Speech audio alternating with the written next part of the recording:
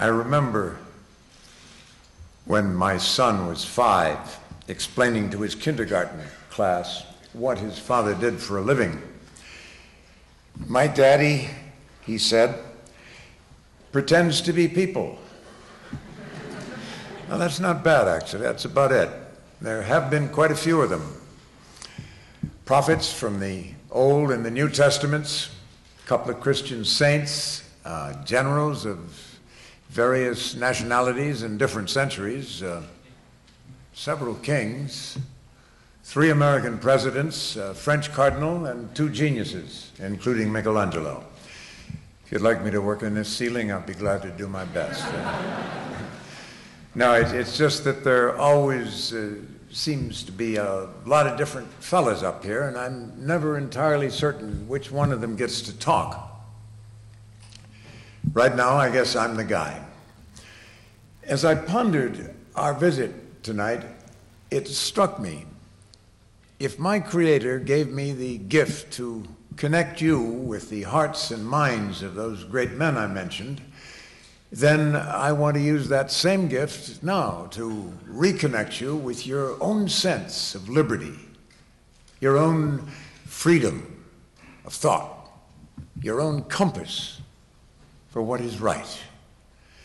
Dedicating the memorial at Gettysburg, Abraham Lincoln said of America, We are now engaged in a great civil war, testing whether that nation or any nation so conceived and so dedicated can long endure. Those words are true again. I believe that we are again engaged in a great civil war, a cultural war that's about to hijack your birthright to think and say what lives in your heart. I fear you no longer trust the pulsing lifeblood of liberty inside you, the stuff that made this country rise from wilderness into the miracle that it is. Let me back up a little. About a year or two ago, I became president of the National Rifle Association, which protects the right to keep and bear arms of American citizens. I ran for office, I was elected, and now I serve. I serve as a moving target for the media, who've called me everything from ridiculous and duped to a brain injured, senile, crazy old man. I know I'm, I'm pretty old, but I sure, Lord, ain't senile. As I've stood in the crosshairs of those who target Second Amendment freedoms, I've realized that firearms are, are not the only issue. No, no. It's much, much bigger than that. I've come to understand that a cultural war is raging across our land, in which, with Orwellian fervor, certain accepted thoughts and speech are mandated. For example, I marched for civil rights with Dr. King in 1963, long before Hollywood found it acceptable, I may say. But when I told an audience last year that white pride is just as valid as black pride or red pride or anyone else's pride, they called me a racist. I've worked with brilliantly talented homosexuals all my life, throughout my whole career. But when I told an audience that gay rights should extend no further than your rights or my rights, I was called a homophobe. I served in World War II against the Axis powers. But during a speech, when I drew an analogy between singling out the innocent Jews and singling out innocent gun owners, I was called an anti Semite. Everyone I know knows I would never raise a closed fist against my country. But when I asked an audience to oppose this cultural persecution I'm talking about, I was compared to Timothy McVeigh.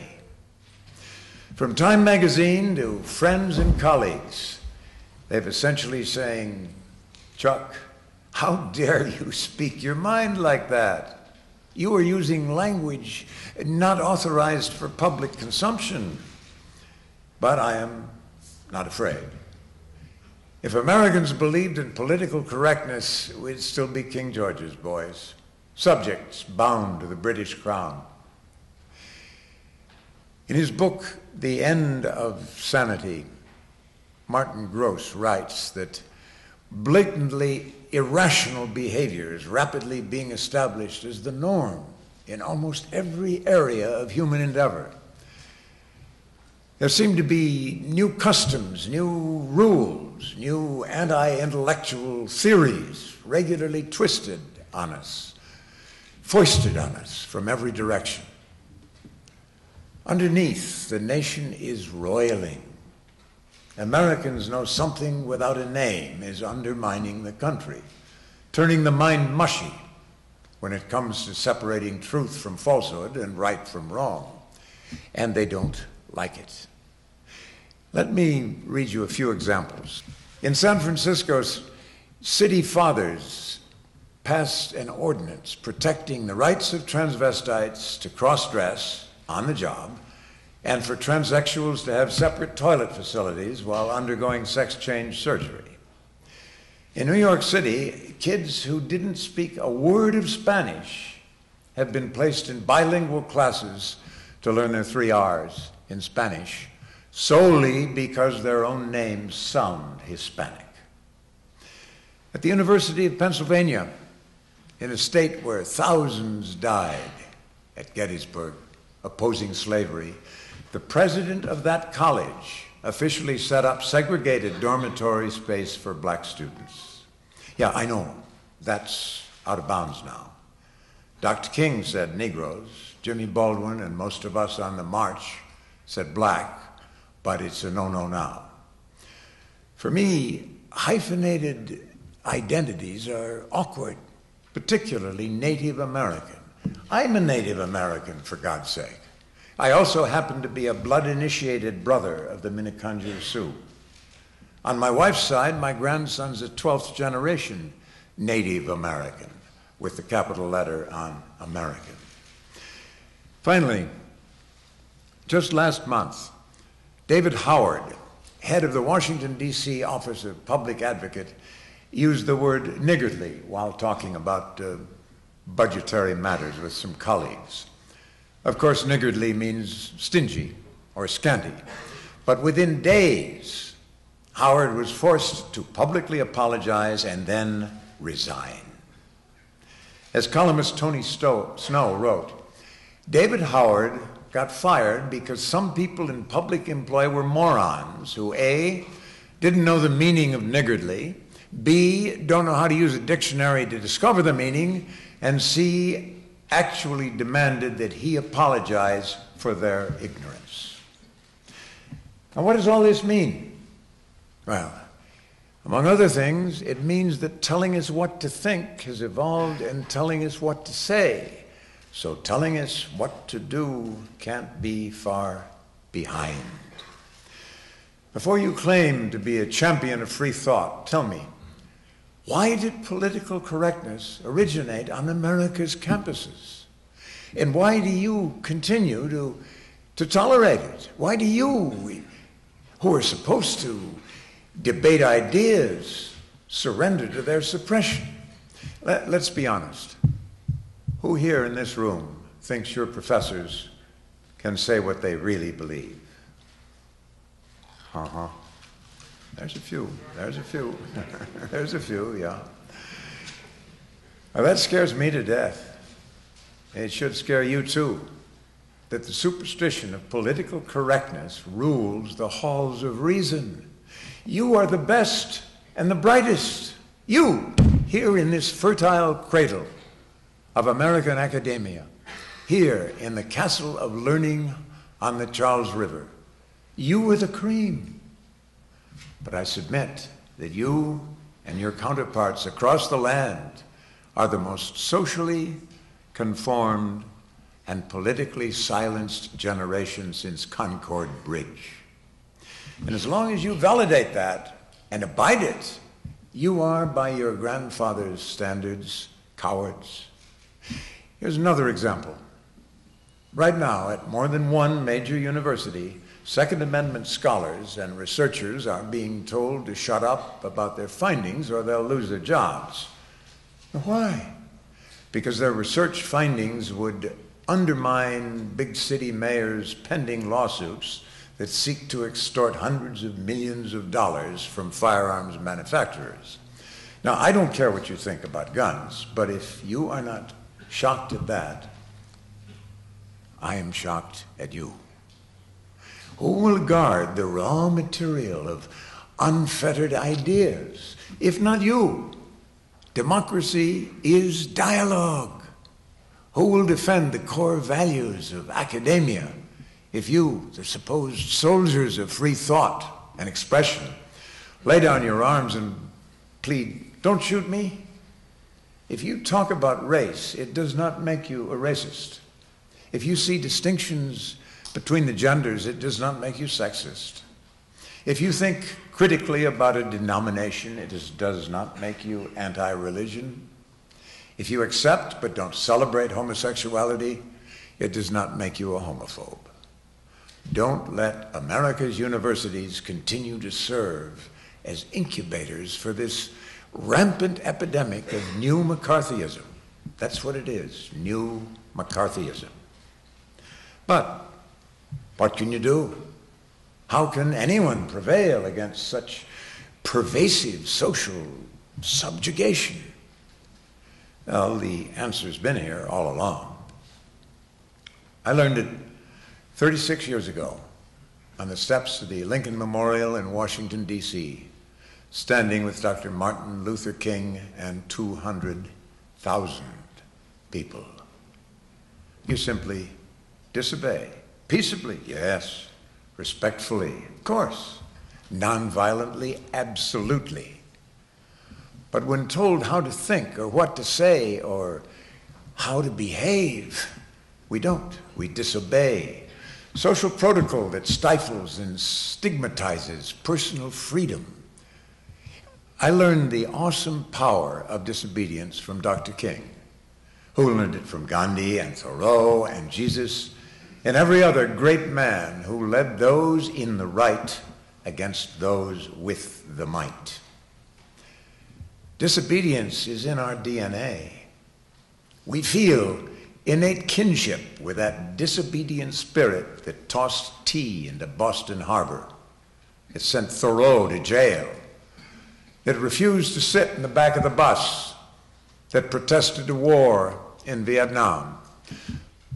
In that same spirit, I'm asking you to disavow cultural correctness with massive disobedience of rogue authority, social directives, and onerous laws that weaken personal freedom. But be careful, it hurts. Disobedience demands that you put yourself at risk.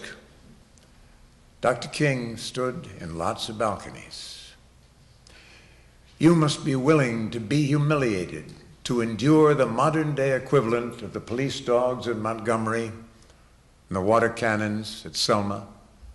You must be willing to experience discomfort.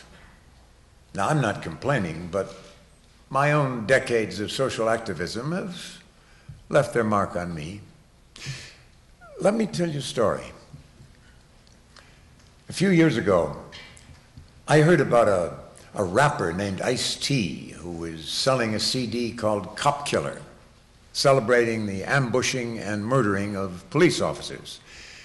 It was being marketed by none other than Time Warner, the biggest entertainment conglomerate in the country, in the world. Police across the country were outraged, rightfully so. At least one of them had been murdered. But Time Warner was stonewalling because uh, the CD was a cash cow for them, and the media were tiptoeing around because the rapper was black. I heard Time Warner had a stockholders meeting scheduled in Beverly Hills. I owned some shares of Time Warner at the time, uh, so I decided to attend the meeting. What I did was against the advice of my family and my colleagues. I asked for the floor. To a hushed room of a thousand average American stockholders, I simply read the full lyrics of Cop Killer, every vicious, vulgar, instructional word. I got my 12 gauge sawed off. I got my headlights turned off. I'm about to bust some shots off. I'm about to dust some cops off. It got worse. A lot worse. Now, I won't read the rest of it to you.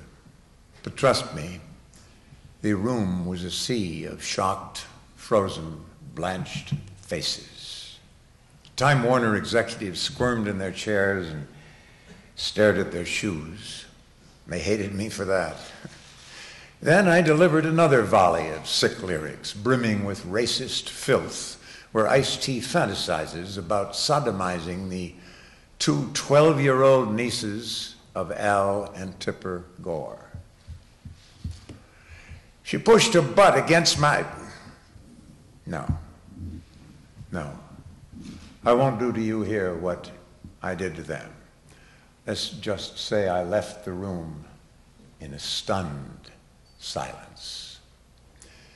When I read the lyrics to the waiting press corps outside, one of them said, We can't print that, you know. I know, I said, but Time Warner is still selling it. Two months later, Time Warner terminated Ice T's contract.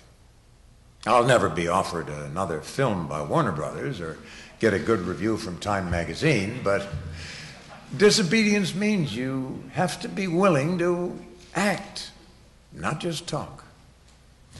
When a mugger sues his elderly victim for defending herself, jam the switchboard at the district attorney's office.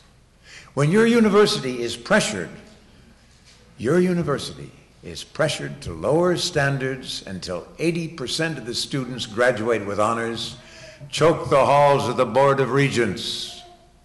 When an eight year old boy pecks a girl's cheek in the playground and then gets called into court for sexual harassment, march on that school and block its doorways. When someone you elected is seduced by political power and betrays you, petition them, oust them, banish them. When Time magazine's cover portrays millennium nuts as deranged, crazy Christians holding a cross, as it did last month, boycott their magazine and the products it advertises. So that this nation may long endure, I urge you to follow in the hallowed footsteps of the great disobediences of history that freed exiles, founded religions, defeated tyrants, and yes, in the hands of an aroused rabble in arms and a few great men, by God's grace, built this country. If Dr. King were here, I think he would agree. I thank you.